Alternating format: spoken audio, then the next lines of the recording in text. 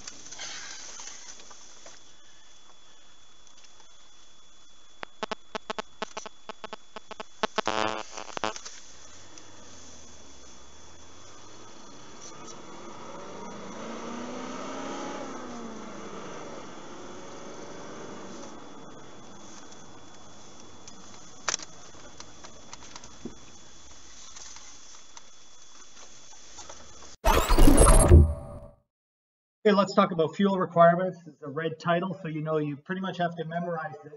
For an aircraft, uh, an aeroplane, I should say, you must have enough fuel to fly to the destination, plus have 30 minutes of reserve fuel for a flight during the day or 45 minutes of reserve fuel at night.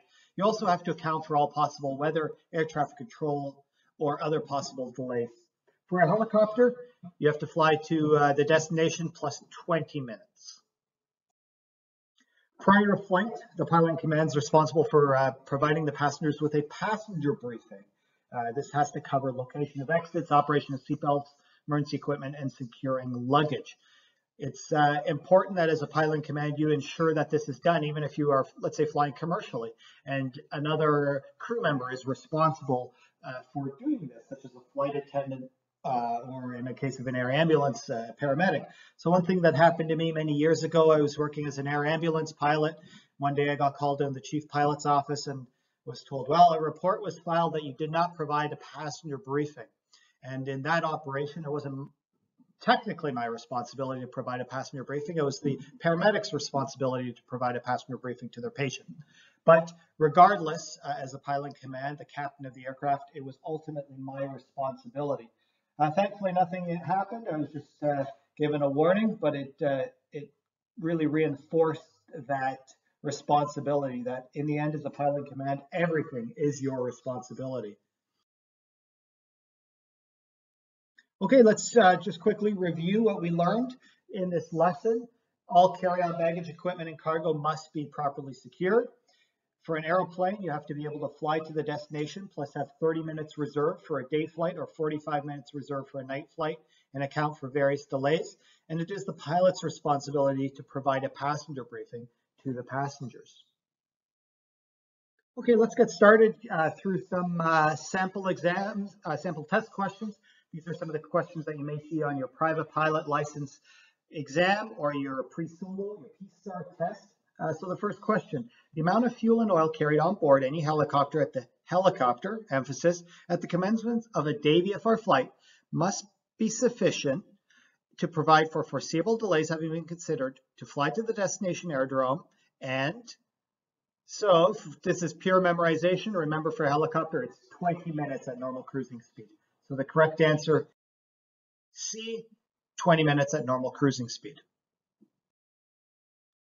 Next question, the amount of fuel carried on board any propeller-driven aeroplane at the commencement of a day VFR flight must be sufficient, having regard to the meteorological conditions and foreseeable delays that are expected in flight to fly to the destination aerodrome. And, and we know for day VFR, it's 30 minutes at normal cruising speed.